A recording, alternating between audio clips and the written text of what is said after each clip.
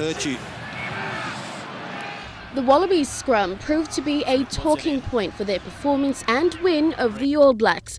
Impressed with the forwards' drive, prop Scott Sio admitted there were areas of improvement for game two of the Bledisloe. We had some good scrums on the weekend, but we had some scrums where we could, you know, we really need to improve as well. So uh, I think that's something we're just going to keep searching for and, and, keep building on as the week goes on.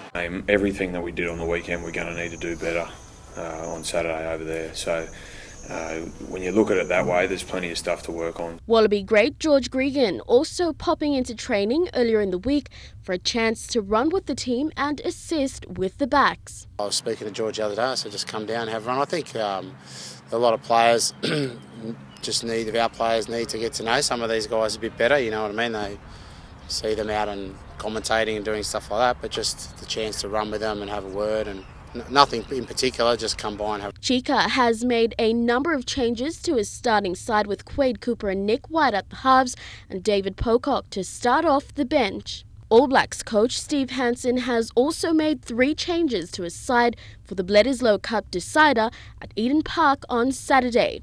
Ma'a Nonu will replace Sonny Bill Williams, while Sam Whitelock and Victor Vito also make an appearance to the starting 15 yeah, we're pretty much straight back into our work and uh, pretty positive about our chances this weekend. You know, as a forward pack, uh, we took quite a bit of a hit. We weren't proud of our performance there, so uh, if anything, uh, we're just looking to make sure that uh, we shore up uh, certain areas, just especially that that scrum, obviously, and just around the field, making sure that we give our backs some quicker ball. Because right now, there's a very important cup that's up for grabs at the moment, and we'd really want it to stay at home. All Blacks captain Richie McCaw will become the most capped player in Test rugby, playing his 142nd match on Saturday. Lorraine Genia, National EMTV Sports.